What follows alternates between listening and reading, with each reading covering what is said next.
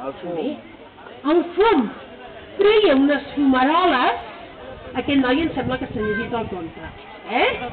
Doncs, uh, treia uns fums que cridaven tant l'atenció que no és estrany que li diguessin fumeres.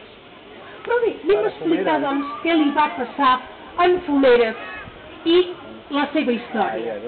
Hem de dir que en Fumeres és un drac que va néixer fa molt i molt de temps.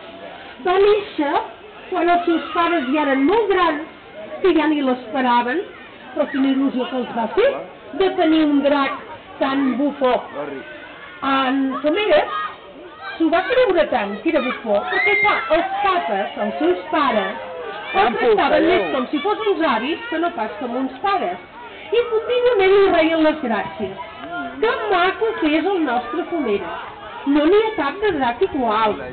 És preciós. Clar, li deien tant que en Fumera s'ho va creure. I feien fatxenda sempre davant de tots els altres dragonets petits. I els altres pensaven que s'ha cregut. Home, jo també ho soc de maco, i un altre jo també soc llest, i per què és tan bufat aquest drac? I ell no entenia que els altres dracs no li riguessin totes les gràcies com fessin el seu pare. Ve tu aquí, que clar, es va fer tan, tan antipàtic amb els altres dragonets que es va anar quedant sol, sol com un mussol, encara que era un drac.